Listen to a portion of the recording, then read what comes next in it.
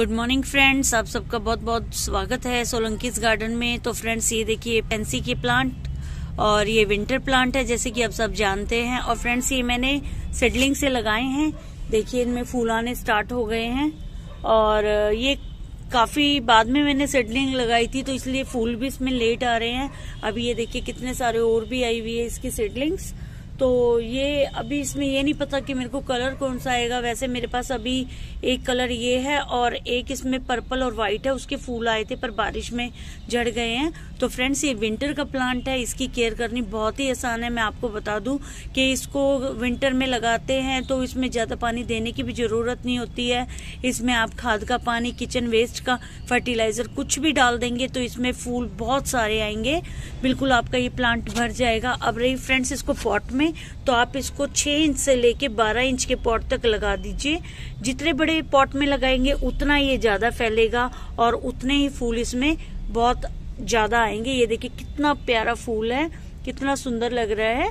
और फ्रेंड्स मैंने जैसे आपको बता दी, इसको डायरेक्ट धूप में भी रखने की ज़रूरत नहीं होती, क्योंकि जब ये विंटर का ही प्लांट है तो इसमें जितनी थोड़ी बहुत धूप आएगी, वो इसके लिए काफ़ी रहती है।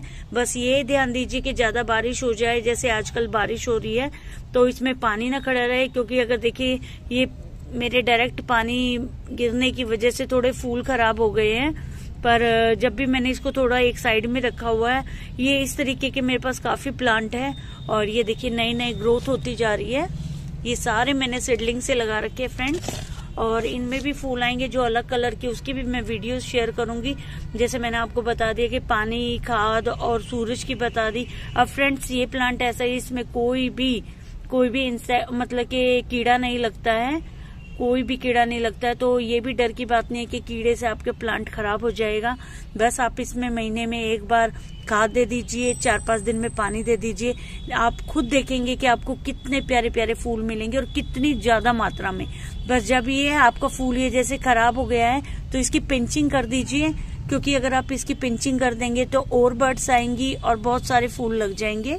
तो फ्रेंड्स मैं आपको इतना ही बताना चाह रही थी कि पेंसी का प्लांट विंटर में ज़रूर लगाइए, क्योंकि ये बहुत ही अच्छा प्लांट है और बहुत सारे फूल आते हैं। आपका गार्डन आपका घर बहुत सुंदर लगेगा।